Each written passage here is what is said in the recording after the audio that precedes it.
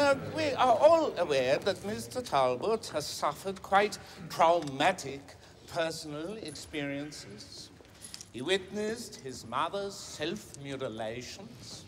His young mind, unable to accept it, created a fantastical truth that his father is to blame, that his father is literally a monster. But your father is not a werewolf. You were not bitten by a werewolf. You will not become a werewolf.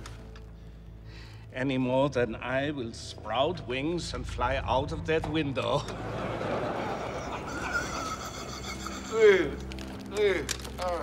Uh, I think that uh, Mr. Talbot has something to say to us.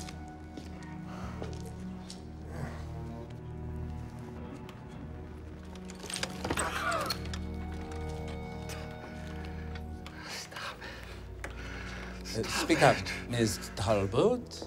Forgive me, but we can't hear you. You moron. Tonight I will kill all of you. I will kill all of you! Yes, well, as you can see, lycanthropy Please do is something a about it! disease of the mind, existing Kill me. somewhere in the deep Kill me. To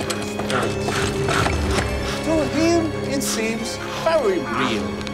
The subject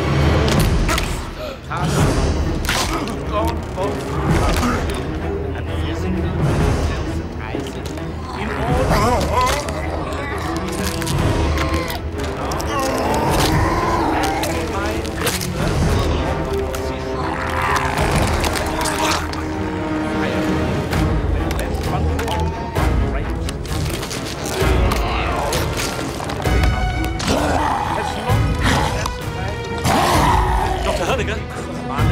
derives from the state and offers stimulation. Doctor! Doctor!